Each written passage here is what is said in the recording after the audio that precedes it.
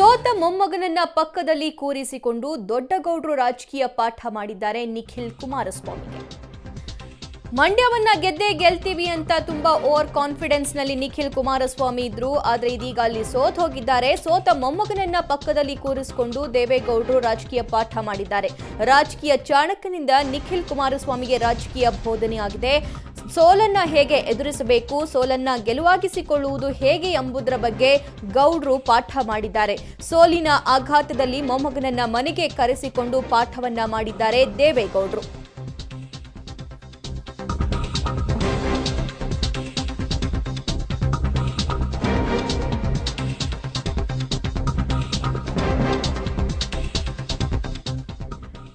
S ಮಂಡ್ಯವನ್ನ ಗೆದ್ದೆ ಗೆಲ್ತೀವಿ ಅನ್ನುವಂತಹ ಓವರ್ ಕಾನ್ಫಿಡೆನ್ಸ್ ಜೆಡಿಎಸ್ನ ನಾಯಕರಲ್ಲಿ ಅದರಲ್ಲೂ ನಿಖಿಲ್ ಕುಮಾರಸ್ವಾಮಿ ಅವರಿಗೆ ಇತ್ತು. ಆದರೆ ನಿಖಿಲ್ ಕುಮಾರಸ್ವಾಮಿ ಅವರು ಸುಮಾರು ಒಂದು ಕಾಲು ಲಕ್ಷ ಮತಗಳಿಂದ ಅಲ್ಲಿ ಸೋತಿದ್ದಾರೆ. ಸೊ ಹಾಗಾಗಿ ಇದೀಗ ದೇವೇಗೌಡರು ಅವರನ್ನ ತಮ್ಮ ಮನೆಗೆ ಕರೆಸಿ ರಾಜಕೀಯ ಪಾಠವನ್ನ ಮಾಡಿದ್ದಾರೆ.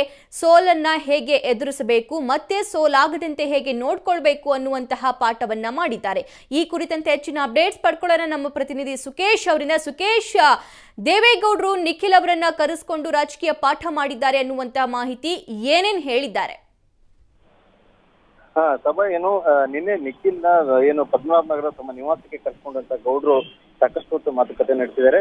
ಏನು ಮಂಡ್ಯದಲ್ಲಿ ಆದಂತ ಸೋಲಿನಿಂದ ಎದೆಗೊಂದು ಅವಶ್ಯಕತೆ ಇಲ್ಲ ಅನ್ನುವಂತ ಒಂದು ಕಿವಿ ಮಾತನ್ನು ಕೂಡ ಅವರು ಹೇಳಿದ್ದಾರೆ ಅನ್ನೋದ್ರ ಜೊತೆಗೆ ಹೇಗೆ ಸೋಲನ್ನ ಗೆಲುವಾಗಿ ಪರಿವರ್ತಿಸಬೇಕು ಮತ್ತೆ ಹೇಗೆ ಕಮಿಟ್ಮೆಂಟ್ ಅನ್ನ ಕೊಡಬೇಕಾಗುತ್ತೆ ಕ್ಷೇತ್ರಕ್ಕೆ ಅನ್ನೋದ್ರ ಬಗ್ಗೆ ಕೂಡ ಹೇಳಿದ್ದಾರೆ. ಆದ್ರೆ ನಿಖಿಲ್ ಕೂಡ ಇದಕ್ಕೆ ಪ್ರತಿಕ್ರಿಯೆ ನೀಡಿರುವಂತದ್ದು ಖಂಡಿತವಾಗೂ ನಾನು ಮಂಡ್ಯ ಬಿಟ್ಟು ಹೋಗಲ್ಲ, ಮಂಡ್ಯದಲ್ಲೇ ನಾನು ರಾಜಕೀಯ ಜೀವನವನ್ನು ರೂಪಿಸ್ಕೊಳ್ತೀನಿ ಅನ್ನುವಂತ ಮಾತನ್ನು ಕೂಡ ದೇವೇಗೌಡರಿಗೆ ಹೇಳಿದ್ದಾರೆ. ಹಾಗಾಗಿ ಇಲ್ಲೊಂದ್ ಕಡೆ ಸೋಲಿನಿಂದ ಕಂಗೆಟ್ಟಿದಂತ ನಿಖಿಲ್ಗೆ ಆತ್ಮವಿಶ್ವಾಸ ತುಂಬುವಂತ ಪ್ರಯತ್ನವನ್ನ ದೇವೇಗೌಡರು ಮಾಡಿದ್ರೆ ಖಂಡಿತವಾಗಿಯೂ ನಾನು ಅಲ್ಲೇ ಮುಂದುವರಿತೀನಿ ಮಂಡ್ಯದಲ್ಲಿ ಎನ್ನುವಂತ ಮಾತನ್ನು ಕೂಡ ದೇವೇಗೌಡರಿಗೆ ನಿಖಿಲ್ ಕೊಟ್ಟಿದ್ದಾರೆ ಮಾತುಕತೆ ಸಂದರ್ಭದಲ್ಲಿ ಎನ್ನುವಂತ ಮಾಹಿತಿ ನಮಗೆ ಲಭ್ಯ ಆಗಿದೆ ಓಕೆ, ನಿಖಿಲ್ ಕುಮಾರಸ್ವಾಮಿ ಅವರ ಒಂದು ವಿಡಿಯೋ ಹರಿದಾಡ್ತಾ ಇದೆ. ಅವರು ಮಂಡ್ಯದಲ್ಲೇ ಇರ್ತೀನಿ, ಅಲ್ಲೇ ತೋಟ ಮಾಡ್ತೀನಿ, ಅಲ್ಲೇ ಇರ್ತೀನಿ, ಶೆಡ್ಡಲ್ಲೂ ಮಾತ್ರ ವಾಸ ಮಾಡ್ತೀನಿ ಅಂತ ಹೇಳಿದ್ದಾರೆ. ಜೊತೆಗೆ ಮಳವಳ್ಳಿಯಲ್ಲೂ ಕೂಡ ಅವರು ಸಮಾವೇಶ ಮಾಡ್ತೀನಿ ಅಂತ ಹೇಳ್ತಿದ್ದಾರೆ.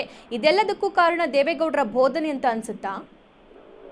ಅಲ್ಲ, ಅದು ಅದು ಮುಂಚಿತವಾಗಿ ಮಾತನಾಡಿದಂಥದ್ದು. ಇದು ಕೂಡ ಕರೆದು ಒಂದು ಬುದ್ಧಿಮಾತನ್ನು ಹೇಳುವಂಥದ್ದು ಅಥವಾ ಧೈರ್ಯ ತುಂಬುವಂತ ಪ್ರಯತ್ನವನ್ನು ದೇವೇಗೌಡರು ಮಾಡಿರುವಂಥದ್ದು.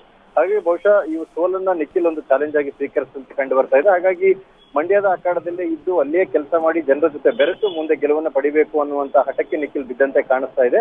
ಹಾಗಾಗಿ ಈಗ ಸದ್ಯಕ್ಕೆ ಎಲ್ಲ ಬೆಳವಣಿಗೆಗಳು ನೋಡ್ತಾ ಇದ್ರೆ ನಿಖಿಲ್ ಈ ಸೋಲ್ನಿಂದ ಸ್ವಲ್ಪ ಮಟ್ಟಿಗೆ ಬೇಸರ ಆಗಿದ್ರು ಕೂಡ ಅದನ್ನು ಒಂದು ಸುಧಾರಿಸಿಕೊಂಡು ಅಲ್ಲಿಂದಲೇ ತಮ್ಮ ರಾಜಕೀಯ ಜೀವನವನ್ನು ಆರಂಭಿಸಬೇಕು ಅನ್ನುವಂತ ತೀರ್ಮಾನಕ್ಕೆ ಬಂದಂತೆ ಕಾಣಿಸ್ತಾ ಇದೆ. ಹಾಗಾದ್ರೆ ಮುಂದಿನ ದಿನಗಳಲ್ಲಿ ನಿಖಿಲ್ ಹೇಗೆ ನಡ್ಕೊಳ್ತಾರೆ? ಆಡಿದ ಮಾತಿನಂತೆ ಮಂಡ್ಯದ ಅಖಾಡದಲ್ಲೇ ಬೇರೆಯವ್ರ ಅನ್ನುವಂಥದ್ದು ಈಗಿರುವಂತ ಕುತೂಹಲ ಸಭಾ ಓಕೆ ಸುಕೇಶ್, ಧನ್ಯವಾದ ನಿಮ್ಮೆಲ್ಲ ಮಾಹಿತಿಗೆ. ಹಾಗಾದ್ರೆ ತಾತ ದೇವೇಗೌಡರು ಮೊಮ್ಮಗ ನಿಖಿಲ್ ಕುಮಾರಸ್ವಾಮಿಗೆ ಏನೇನ್ ರಾಜಕೀಯ ಬೋಧನೆ ಮಾಡಿದ್ದಾರೆ? ಬನ್ನಿ ನೋಡೋಣ. ದೇವೇಗೌಡರು ಹೇಳ್ತಾರೆ, ಏನಪ್ಪ ಹೇಗಿದೆಯಾ ಅಂತ? ಚುನಾವಣೆ ಅಂದಮೇಲೆ ಸೋಲು ಗೆಲುವು ಎಲ್ಲವೂ ಸಹಜ. ಅದನ್ನ ಮನಸ್ಸಿಗೆ ಹಚ್ಕೋಬೇಡ, ಬೇಸರ ಮಾಡ್ಕೋಬೇಡ. ಎಲ್ಲವನ್ನ ಮರೆತು ಮುಂದುವರಿಬೇಕು ಅಂತ ಹೇಳ್ತಾರೆ. ಅದಕ್ಕೆ ನಿಖಿಲ್ ಕುಮಾರಸ್ವಾಮಿ ಉತ್ತರಿಸ್ತಾರೆ, ಇಲ್ಲ, ಹಾಗೇನೂ ಇಲ್ಲ. ನಾನು ಸೋತ ಬೇಸರದಲ್ಲಿಲ್ಲ ಅಂತ ಆನ್ಸರ್ ಮಾಡ್ತಾರೆ. ಆದರೆ ನಿಮಗೆ ಮತ್ತು ಅಪ್ಪನಿಗೆ ಅಷ್ಟೊಂದು ಪ್ರೀತಿ ತೋರಿಸೋ ಮಂಡ್ಯ ಜನ ನನ್ನನ್ನು ಕೈಬಿಟ್ಟಿದ್ದು ನನಗೆ ಬೇಜಾರಾಯಿತು ಅಷ್ಟೇ. ಆದರೆ ಇವಾಗೇನು ಬೇಜಾರಿಲ್ಲ ಅಂತ ಹೇಳ್ತಾರೆ. ಅದಕ್ಕೆ ದೇವೇಗೌಡರು ಹೇಳ್ತಾರೆ ಎಲೆಕ್ಷನ್ ಅಂದ ಮೇಲೆ ಸೋಲು ಗೆಲುವು ಎಲ್ಲ ಸಾಮಾನ್ಯ. ಯಾವುದನ್ನ ಜಾಸ್ತಿ ಮನಸ್ಸಿಗೆ ಹಚ್ಕೋಬೇಡ. ಮುಂದೆ ಏನು ಮಾಡಬೇಕೋ ಅದನ್ನ ನೀನೇ ತೀರ್ಮಾನ ಮಾಡು ಅಂತ ಹೇಳ್ತಾರೆ. ಅದಕ್ಕೆ ನಿಖಿಲ್ ಅವರ ಉತ್ತರ ಈ ರೀತಿಯಾಗಿದೆ. ಇಲ್ಲ, ನಾನು ಮಂಡ್ಯಕ್ಕೆ ಹೋಗಬೇಕು. ವೋಟರ್ಸ್ಗೆ ಥ್ಯಾಂಕ್ಸ್ ಹೇಳಬೇಕು ಅಂತ ಅಂದ್ಕೊಂಡಿದ್ದೇನೆ ಒಂದೆರಡು ದಿನದಲ್ಲಿ ಹೋಗ್ತೀನಿ ಮಂಡ್ಯಕ್ಕೆ, ಅಂತ ಹೇಳ್ತಾರೆ. ಅದಕ್ಕೆ ದೇವೇಗೌಡರು, ಹ್ಞೂ, ಆಯಿತು. ಒಂದು ಮಾತು ತಿಳ್ಕೊ. ರಾಜಕಾರಣದಲ್ಲಿ ನಮ್ಮ ಗುರಿ ಸ್ಪಷ್ಟವಾಗಿರಬೇಕು. ಎಷ್ಟೇ ಕಷ್ಟ ಆದರೂ ಸರಿ, ಗುರಿ ಮುಟ್ಟುವ ಛಲ ಇರಬೇಕು ಅಂತ ಹೇಳ್ತಾರೆ. ನೀನು ಮಂಡ್ಯದಲ್ಲಿ ರಾಜಕಾರಣ ಮಾಡೋದಾದರೆ ಸ್ಪಷ್ಟವಾದ ತೀರ್ಮಾನ ಮಾಡಿ ಮುಂದುವರಿ. ಮುಂದೆ ಹೋದ ಮೇಲೆ ಹಿಂದೆ ಬರೋ ಹಾಗಿರಬಾರ್ದು ಅಂತ ಕಿವಿ ಮಾತನ್ನ ಹೇಳ್ತಾರೆ. ಅದಕ್ಕೆ ನಿಖಿಲ್, ಇಲ್ಲ ತಾತ, ಇಷ್ಟು ಮುಂದೆ ಹೋದ ಮೇಲೆ ಹಿಂದೆ ಬರೋ ಪ್ರಶ್ನೆನೇ ಇಲ್ಲ.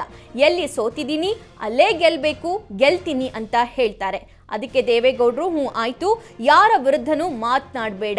ನಿನ್ನ ಪಾಡಿಗೆ ನೀನು ಕೈಲಾದ ಕೆಲಸ ಮಾಡಿಕೊಂಡು ಹೋಗು. ಜನ ಅವರಾಗೆ ನಿನ್ನ ಇಷ್ಟಪಡಬೇಕು. ಸೋಲಿಸಿದ್ರು ನಮ್ಮ ಜೊತೆಗಿದ್ದು ಕಷ್ಟ ಸುಖಕ್ಕೆ ಸ್ಪಂದಿಸಿದ ಅನ್ಬೇಕು. ಹಾಗೆ ಕೆಲಸ ಮಾಡು ತೋರಿಸು. ಹಾಗೆ ಕೆಲಸ ಮಾಡುವಂಥ ಬದ್ಧತೆ ಇರಬೇಕು ಅಂತ ಹೇಳ್ತಾರೆ. ಅದಕ್ಕೆ ನಿಖಿಲ್, ಖಂಡಿತ ತಾತ, ನಾನು ಯಾರ ವಿರುದ್ಧವೂ ಮಾತನಾಡಲ್ಲ. ಮಂಡ್ಯದಲ್ಲೇ ಇದ್ದು ಕೆಲಸ ಮಾಡ್ತೀನಿ ಅಂತ ಹೇಳ್ತಾರೆ. ಅದಕ್ಕೆ ದೇವೇಗೌಡರಂತಾರೆ, ಇನ್ನೊಂದು ವಿಷಯ ತಿಳ್ಕೊ. ನೀನು ಮಂಡ್ಯದಲ್ಲಿ ಓಡಾಡೋದು ನಾಳೆ ಇನ್ಯಾರೋ ರಾಮನಗರ ಮಾಗಡಿಯಲ್ಲಿ ನಿಂತರೆ ಸುಲಭವಾಗಿ ಗೆಲ್ಲಬಹುದು ಅಂದ್ರೆ ಅವಾಗ ಇನ್ನೊಂದು ಥರ ಯೋಚನೆ ಮಾಡೋ ಹಾಗೆ ಮಾಡ್ಕೋಬೇಡ ಅಂತ ಕಿವಿ ಮಾತನ್ನ ಹೇಳ್ತಾರೆ. ಅದಕ್ಕೆ ನಿಖಿಲ್, ಖಂಡಿತ ಇಲ್ಲ ತಾತ, ನಾನು ಬೇರೆ ಯೋಚನೆ ಮಾಡಲ್ಲ.